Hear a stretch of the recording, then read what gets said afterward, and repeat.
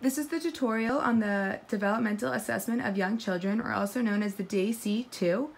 Um, the purpose of this assessment is to help identify children who are significantly below their peers in the following domains cognition, communication, social emotional, development, and adaptive behavior abilities. The test is broken up into those five domains. So we're going to get started with the cognitive domain. First, in section one, we're going to identify the patient female, male. Record um, when the date was tested, or the date it was tested, the date of birth.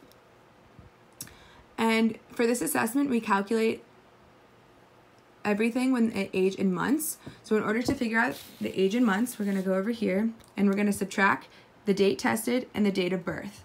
So we're gonna write the date tested, which comes right from section one, and the date of birth. So we since we can't take 24 out of 16, we're going to borrow from months.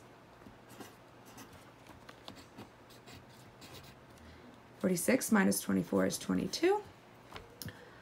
Um, since we can't take 12 away from 8, we're going to borrow again. And then so since there are 12 months in a year, we add 12 and we get 20. And then 20 minus 12 is 9. 2014 minus 2011 is 3. And then since we record everything in months, we have to convert this, the years, into months. So we'll multiply it by 12 since there are 12 months in a year. And we get 36 plus 9 equals 44 months. And then we don't do anything with the days, but we do list it over here in the age.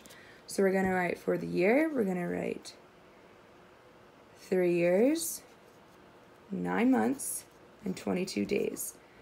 And then we have 44 months.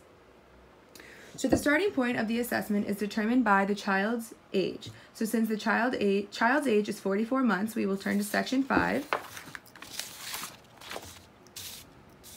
Go to entry score and find 44 months. So 44 months falls right under here, the 36 to the 47, and it looks like we start on item 40. So we go find item 40. We're going to circle it. So for every question, um, we start on 40, and for every yes, they get one point, and for every no, they get zero points. We would administer the items until three consecutive items receive a zero. So we're gonna go down and we see there's three zeros here. So we're gonna go 44 to 46. Once we get here, these three scores are considered the ceiling. After we find that, we will look at the previous items before the ceiling and find the first three consecutive items that receive a one. And we go up and here we are, 30 to 32. Once we get here, these scores are considered the basal. Now that we identified the ceiling and the basal scores, we can figure out the raw score. In order to calculate the raw score, we go back to each item before the basal, so 30, starting from 30 to 32, and give them one point, including the basal, and all of those items that received one point in between the ceiling and the basal.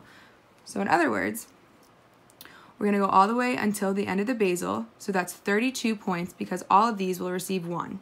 So we have 32. And then we're going to go through the items in between the basal and the ceiling and count all of the items that received a 1. So we have one, two, three, four, five, six. So we're going to add the 32 and the 6, which gives us the raw score of 38.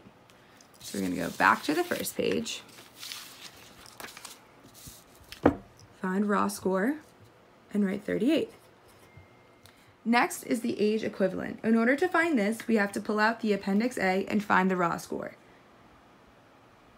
In the Appendix A, under the raw score of 38, it is 29. So we're going to put 29 at age equivalent. Next is to convert the raw score into a standard score. In order to do this, we pull out Appendix B. We go to the table that reflects the actual age which is 44 months. We will find that the raw score, we will find the raw score, go across to the right category, and we find that the standard score is 77.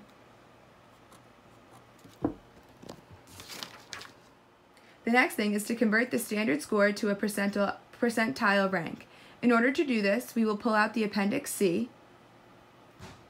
Since the standard score for cognition is 77, the percentile rank is 6.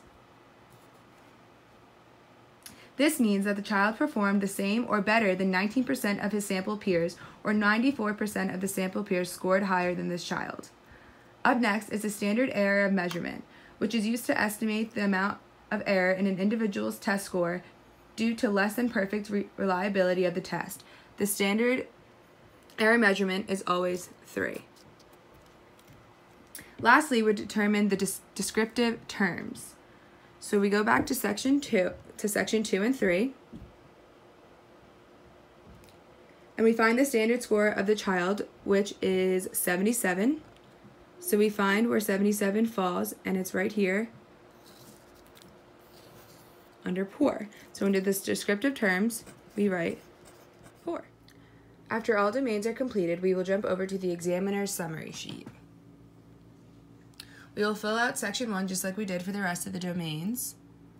And then we will fill out the results for each domain. So here you can see each domain, and I already filled out all the results for time purposes. Um, the next thing that we have to do is the General Development Index, or also known as the GDI. So in order to or determine the GDI, we add together all of the standard scores for each domain. So the sum of the standard scores, which is 460. And then we turn to Appendix E and we find the related GDI score, which is 88.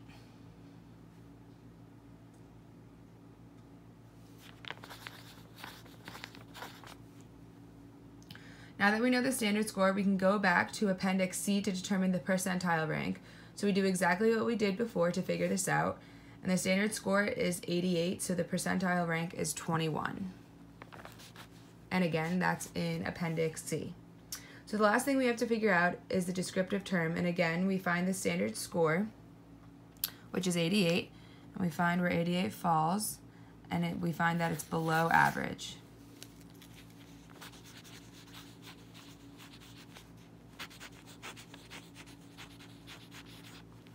And that's how you do